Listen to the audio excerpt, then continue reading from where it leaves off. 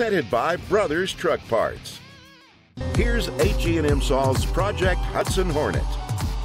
Today we're going to be attacking the carburetors on our 54 Hudson, and I've got my good friend Wade from Merlin Auto Group, a local Ferrari service shop here in Atlanta, coming to show you guys the correct way to rebuild a carburetor. Thanks for having me, Sam. Anytime. Thanks for coming out. So you contacted me on this 54 Hudson with these with the carburetor, and uh, it's a unique piece. It's a single barrel Carter. It's called a WA1, and the part that was difficult about this one is because it'd been sitting a long time. So gas evaporates, all the leftovers create all kind of headaches.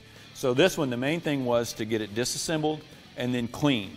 And I've had customers that come in and go, yeah, my car's not running really good. I think it's the carburetor, but I sprayed it down with some carburetor cleaner. Didn't really help. Well, that's great. It looks good on the outside, but does it work? No. Part of the reason it doesn't work is because there's all these little bitty intricate pieces with holes in them and orifices in them, and they all have to flow exactly right. So once we get it apart, like we've done here, and we clean the body of the carburetor, the body of the carburetor also has many passages. You can see anywhere there's a little passage or a line like that, that's, that's flowing something. So we have to clean everything, all of the jets, all of the emulsion tubes, all of the orifices. Once you get that done, then you can reassemble the carburetor. And the cleaning is the most important part of a carburetor. And I tell people, some of the holes in these carburetors are not much bigger than a couple of human hairs.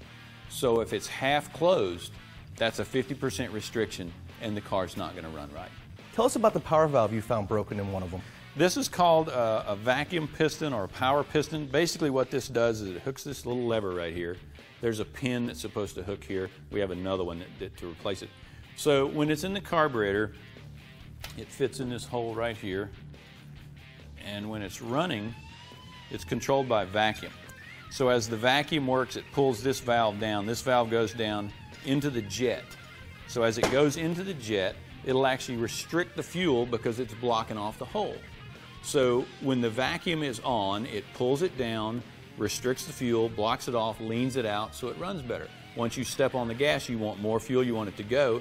The vacuum goes away, the spring pushes it out of the way, you get full flow.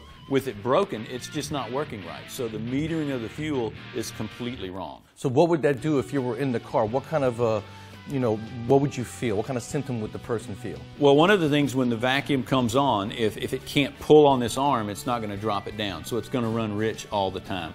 You might smell it at idle. It's, it smells really rich, a lot of burned fuel. And then if it, if it gets down and you, you step on the gas and it's not pushing the right way, it just creates all kind of headaches. Sometimes it can be lean, sometimes it can be rich, depending on which way it sticks. But broken is never good. Absolutely. So do you have one that's already been done that you can show us? We're going to show you the other one that uh, we're going to assemble uh, the other one and show you um, all the pieces going together and some of the intricacies of setting up the float height, which is very important. So let's go ahead and get to the assembly part. We have another one here we're going to assemble. So we're going to go over some of the important steps to look for when you're assembling. And one of the most important is the float bowl height. That's this right here. The float actually controls how much fuel is in the carburetor. The fuel pump pushes it in, fills it up, shuts off the fuel, lets the fuel flow, shuts off the fuel. This particular one has to be a half an inch. We've already gone ahead and set this one. It's very important that you set that. Too high is wrong, too low is also too wrong. So how do you go ahead and set that? Funny. It's mechanical and you literally just bend a tab. There's a tab right here that sits on top of the needle and seat. If it's too high, you bend it down. If it's too low, you bend it up. Makes sense. It's mechanical. So you see here, this is the power piston we were talking about earlier, where it's going to slide in. We also have the accelerator pump, which is this piece right here. Interestingly enough, there's an assembly sleeve on this.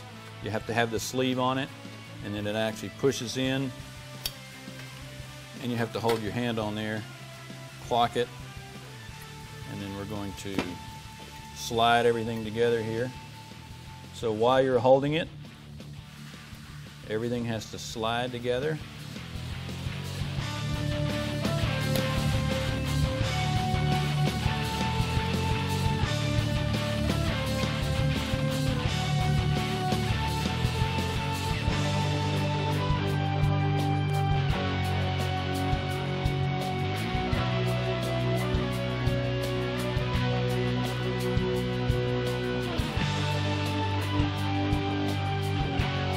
We're going to go ahead and finish up our carburetor, get it all together. I want to thank Wade for coming on and showing us such good tips on rebuilding a carburetor.